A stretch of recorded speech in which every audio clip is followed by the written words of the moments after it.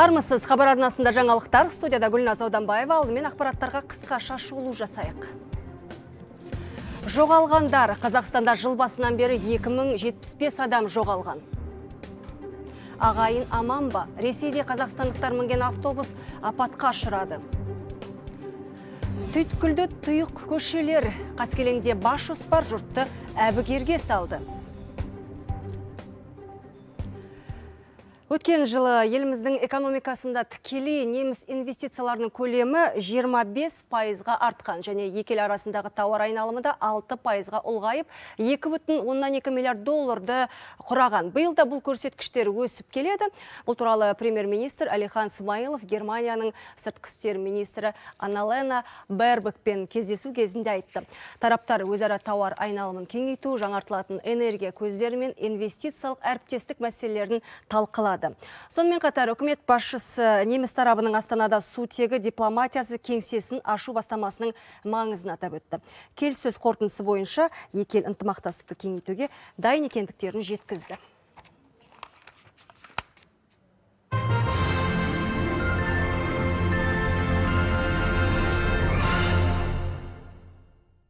Сайлауда арнайы инва такси қызмет көрсетеді. Мүгедектігі бар адамдар үшін осындай жағдай жасалады. Сондай ақ Брайль шрифтін пайдалана отырып, көру қабілеті бұзылған адамдар үшін трафареттер енгізіледі. Бұл туралы орталық сайлау комиссиясының жанынан құрылған мүмкіндігі шектеулі азаматтардың құқықтарын қорғау жөніндегі жұмыс тобының алғашқы отырысында айтылды. Топ мүшелерінің дерегіне сүйенсек, бүгінде сайлау учаскелердің 92 пайызы пандуспен, ал 82 пайызы кіреберісінде тактильді белгімен қамтылған сайлау күні әлі 253 учаскеге пандус 525 учаскеге тактильді белгі орнатылады 95%. Сайлау учаскелерінің 95,2%-іне мүмкіндігі шектеулі азаматтар үшін арнаулы бұрыш жасалмақ. Сондай-ақ учаскелердегі 94% кабинаны қол арбамен жүретін азаматтарға қолайлы етіп жабдықтауды жоспарлап отырмыз. Қасым Жомарт Тоқаевты қолдау жөніндегі республикалық қоғамдық штабтың мүшелері сайлаушылармен кездесуін жалғастырып жатыр. Науқанның алғашқы күндері ақ ел аумағында 5 мыңнан астам үгіт насихат іс-шарасы ұйымдастырылды. Бұл жолы штаб мүшелері Қарағанды облысына барды. Кандидаттың жақтастары, өңірдің кәсіпкерлері, жұмысшылары және өз жастармен кездесті. Бизнесмендермен жүздесу барысында сайлаудың бағдарламасының басым бағыттары мен негізгі ережелері талқыланды. Одан кейін ең ірі шахталардың біріне түсіп кеншілермен кездесті. Шахтерлерге бағдарламаның маңыздылығы мен өзектілігі түсіндірілді. Ал бұдан соң штаб мүшелері Бөкетов атындағы Қарағанды университетіне соқты. Оқытушы профессорлар құрамымен жастардың басын қосып, үгіт, насихат жұмыстарын жүргізді. Кішкентай болса да үлесімізді Қазақстанды өзгерту үшін, жаңарту үшін қосуымыз керек. Бір кісідей бәріміз 20 қарашада дауысымызды берейік Президенттікке кандидат Мейрам Қажыкеннің ұлытау облысындағы штаб жұмыстары жалғасып жатыр. Қазіргі таңда кандидаттың үгіт парақшалары таратылып, халыққа сайлау алды тұғырнама түсіндірілуде. Облыстың барлық қалаларындағы орталық көшелерде билбордтар мен плакаттар ілінген. Өңірдегі қоғамдық кеңседе 12 қызметкермен қоса 15 волонтер жұмыс істейді. Штаб басшысы Ұлытау өндірісті өңір болғандықтан мұнда кәсіподақ бірлестіктерде көп дейді. Сондықтан кездесулер әсіресе алып компаниялар мен зауыттарда жүріп жатыр. Десе де үгіт насихат науқанының соңына дейін өңірдегі барлық жұмыс ұжымдарымен жиын өткізу жоспарланып отыр. үгіт насихат жұмыстарын жүргізіп жатырық негізі жезқазған ұлытау аумағы аймағы көп өндіріс алпауыттарынан тұрады. Сол жұмыскерлер көп. Бізде біздің мақсатымыз әрбір ұжымға барып әрбір адамға жеткізіп өз, өзіміздің программамыздың өзіміздің үміткердің программасын соларды көрсетіп түсіндіріп барлығын көп насихат жүргіземіз. Президентке кандидат Қарақат Әбденнің Алматы облысы жұртшылығымен кездесу басталды. Алғашқы күні ол Талғар қаласының тұрғындарымен, оның ішінде өңірдегі көп балалы аналармен жүздесті. Сайлауалды бағдарламасын таныстырып, емен жарқын әңгімелесті. Ананың мойнына жүктелген жүк ауыр, ал көп балалы ана болу нағыз ерлікке татиды деп аналардың еңбегін назарда ұстайтын жеткізді қонаев қаласынан талғарға бүгін келіп тұрмыз. Қарақат әбденмен кездестік кездесуіміз өте жақсы өтті. Көпбалалы аналар барлық өздеріне керекті сұрақтарын қойды сұрақтарына жауаптарын алды. Бұдан кейін кандидат отбасылық кәсіпкерлермен айналысатын шаңырақтардың бірінде болды. Тұзды бастаудағы жанұя мүшелері құрт, кілегей, ірімшік секілді оннан астам сүт өнімін жасайды. Сұраныс жоғары. Барлығы экологиялық таза өнім. Үйдің үлкендері тек бір отбасын емес, тағы бес адамды жұмыспен қамтып отыр. Істің көзін тауып, кәсібін өрістетіп жатқандардың алға қойған жоспары да, ойға алған тірлігі де көп екен. Экономикамызды жылжытатын нағыз үлкен дүние осы. Отбасылық бизнес. Әр адам әр отбасы тек мемлекеттен ғана күтіп отырмай өзінің әрекетін өзін істеу керек. Балаларын сол еңбекке үйрету керек деп есептеймін. Президенттікке ауыл халықтық демократиялық патриоттық партиясының атынан түскен кандидат Жигули Дайрабаев Ақмола облысына барды. Аршал аудандағы диірмен макарон комбинатының жұмысымен танысып шықты. Тұралап қалған саланың тамырына қан жүгірту жолдар туралы әңгімелесті. Кәсіпкерлермен пікір алмасты. Бұдан соң Анар ауылының тұрғындарымен кездесіп, сайлау алды үгіт насихат бағдарламасын жұртшылық назарына ұсынды. Бір мекеме бір ауылды асырай алады кем дегенде сондықтан да біз бүгін барған диірменнің хал ахуалы қазір өте нашар. Өкінішке қарай. Қазіргі таңда мысалға астық бидай қымбаттап жатыр. Қазір ол мекеменің жұмысы бұрынғыдай емес тұр міне бірнеше ай болды. Өздерінің шығаратын астықтарыны бір екі үш айдай өңдеді жөндеді бітті. Енді тұр.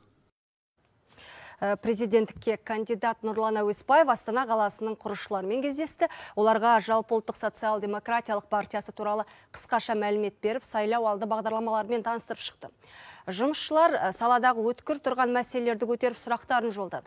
Нұрлан Әуеспаев айтылған проблемаларды қағазына түртіп алды. Кандидат бұған дейін саяси науқан алдындағы үгіт насихат жұмыстарымен Қарағанды, Ақтөбе, Ақмола облысына барған болатын. Бұл шараларға ірі мегаполистер мен облыстардағы жақтастарды атсалысып жатыр. Айта кетейік, кандидаттың сайлау алды бағдарламасы бойынша елуден аса іс шара өткізу жоспарланып отыр. қарапайым жұмысшылар әртүрлі саланың әртүрлі компанияның жұмысшылары келіп өз проблемаларын айтты шынында да өте тартысты тартымды өтті ашық пікірталас болды ендігі жоспар біз оңтүстікке қарай жүреміз батыста болдық осы ақмола облысының айналасын барын араладық Президенттікке кандидат Салтанат Тұрсынбекова үгіт насихат жұмыстарымен Шырайлы Шымкентке барды. Тігін фабрикасына соғып ісмерлермен кездесті. Бұл цех 1995 жылы ашылған. Қазір мұнда 250-ге жуық адам жұмыс істейді. Оның 90 пайызы әйел адамдар. Кәсіпорын негізінен күш құрылымдарына қажетті арнайы киімдер мен мектеп формаларын тігеді. Кандидатпен кездесу барысында фабрика өкілдері кәсіпорындарының жұмысына кадр тапшылығы мен шикізатқа байланысты өз мәселелерін айтып толғандырған сұрақтарын қойды. Шығаратын өнімдерін қазақстандық бренд деп атасақ та болады.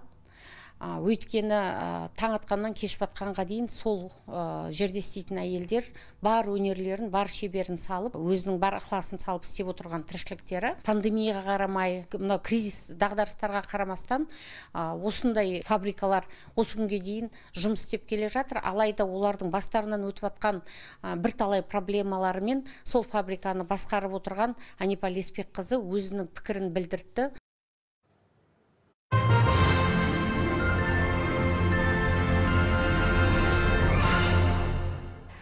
Өзгі ақпараттарға ойсамыз, Қазақстанда биыл 9 айда 2075 адам жоғалған. Бұл туралы Ішкі істер министрлігі криминалдық полиция департаментінің өкілдері хабарлап өтті. Жоғалған адамдардың басым көбі табылған. Бұл 1189 адам, ал 801-і әлі іздестірілуде. Түрлі себептерге байланысты, мысалы, заң аясында іздеу мерзімнің өтуіне, қайтыс болуына байланысты 85 адамды іздеу тоқтатты тоқтатылды. Ә, балаларға келейік, балаларға келсек жыл басынан бері кәмелетке толмаған 186 балаға іздеу салынып отыр, 176-сы табылды. 6 баланы іздеу әлі жалғасып жатыр. Ресейдің Челябі облысында авто- автобус апатқа ұшырады. Көлікте 22 қазақстандық болған. Соңғы мәлімет бойынша кемінде 12-сі зардап шегіп ауруханаға жатқызылды. Дәргерлердің айтуынша екеуінің жағдайы ауыр. Автобус Қостанайдан Еке- Екатеринбург бағытында бағыт алған. Ақпарат құралдарының хабарлауынша отандастарымыз көрші елге жұмысқа бара жатқан екен, көлік иесі жол апаты көктайғақтың кесірінен болғанын айтады. Ал Сеулде қаза тапқан қазақстандық Мадина Шерниязованың денесі жақын күндері елге жеткізіледі. Елшілік қызметкерлері қажетті көмекті көрсетіп жатыр. Отандасымыз осы елдегі жоғары оқу орындарының бірінің студенті болған екен. Соңғы ақпарат бойынша Корея астанасында Хэллоуин мерекесін тойлау кезінде қайтыс болғандардың саны 154-ке жетті. Олардың арасында 26 шетелдік азамат бар. Қазір бұл іс бойынша тергеу басталды. Куәгерлердің айтуынша тәртіп сақшылары тар көшеден шығу үшін дұрыс бағыт көрсетпеген. Қайғылы оқиғаға байланысты елде ұлттық аза тұту жарияланды. Ол қарашаның бесіне дейін жалғасады. терең ойлайтын ә, сабақты жақсы оқитын ағылшын тілін өте жақсы көретін қыз болды түлек сонда Ә, бұл деген оның екінші жоғарғы білімі жоғарғы білімнен кейін магистратурада оқып жатқанын да біз білеміз ол хабар біздің де қабырғамызды қайыстырып отыр ата анасына тек қана сабырлық тілейміз Ел жаңалықтарына оралайық, Алматы облысы Қаскелен қаласындағы төрт көшеге бір атау берілген. Қойтас деп аталатын көшелердің негізгі проблемасы көп жылдан бері шешім таппай келеді. Ойдым-ойдым болған жолдарды былай тұрсын, тұйық көшелерден шығу қиын. Жауапсыз, ретсіз жасалған бас жоспардың кесірінен тұрғындар қамалып отыруға мәжбүр. Тақырыпты қаскелеңдіктермен тілдесіп қайтқан тілшіміз тарқатады. Қарасай ауданының орталығы Қаскелеңдегі қатар жатқан мына төрт көше бірдей қойтас деп аталады. Ең ұзыны 800 метр. Бітеу көшелерге кіру де одан шығу да қиын. 2017 жылы қаланың бас жоспары өзгеріп, соның салдарынан 200-ден аса үйі бар төрт көшенің тұрғындары тығырыққа тірелген. Ал орталыққа шығар жол жаңа бас жоспар бойынша кәсіпкерге өтіп кеткен. 17 жылға дейінгі мына бас планда генплан деп айтамыз бас планда осы көшелердің барлығы мына жерден тура ана жайықтыға шығып кететін мына жерде жол болған қаратылған генпланда. Осыларға мына жер берген кезде біздің мына жолды кәдімгідей тартып соларға беріп отыр. Поликлиникаға бару үшін анау бір екі бір километр жарым айналып бару керек. Аптекаға да сондай. Жол деген жоқ. Өзі жолдың өзі әрең дегенде жаман жаман барлығы ойқы шойқы болып жатыр Ә, ал енді неге мына балалар ә, мектепке барарда кішкентай балаларын ата аналары ертіп барады қазір ит деген былай мінекей барлық жерде Аттас көшелердің ені де талапқа сай емес. Мысалы, бірінші көшенің ені 6 метр болса, басқаларының кеңдігі 4-8 метрге әрең жетеді. Қарсы келген көліктер қысылып, тұйық көшеден қайтып шыға алмай қалады екен. Тұрғындар 4-5 жылдан бері қалалық аудандық әкімдіктің табалдырығын тоздырып келеді. Қаскелеңнің әкімі жыл соңына дейін жаяу жүргінші жолын ашып, мәселені келесі жыл толық шешеміз дейді. келесі жылға мысалы біз оны ә, план детальный планировка жоспар бас, жоспарға өзгеріс енгізіп сол жерге жол салуымыз керек. Карта бойынша жол түссе содан кейін барып біз ұсыныс жасаймыз. Меншік иесімен сөйлесеміз. Ол кісімен келісімшартқа келіп содан кейін сатып алып сол жерден машина жүретіндей алты метрдей жол сатып алуымызға мүмкіншілік туады. Оған қоса 22 бағыт көшесіндегі 60 аса үйдің тұрғындары негізгі жолға жеке жер теліміндегі қауіпті көпір арқылы шығады. Бұл маңда көлік апаты жиі болады екен. Егер меншік иесі көпір орналасқан жерді қоршап алатын болса, 60 түтін мүлдем тұйықталып қалады. Қала әкімі болса, ешкім жолсыз қалмайды деп уәде берді. Жұрт мұндай уәденің жыл сайын қайталанып келе жатқанын айтады. Аршын Кемелжан, Сержан Жұмабаев, Хабар, Алматы облысынан. Бүгінгі айтарымыз осы. Жаңалықтарымызды Хабар арнасының сайтынан және Хабар News YouTube каналынан да көре аласыздар. Сонымен қатар әлеуметтік желілерде Facebook пен Instagram парақшаларынан оқи аласыздар. Жақсылықта жолығайық.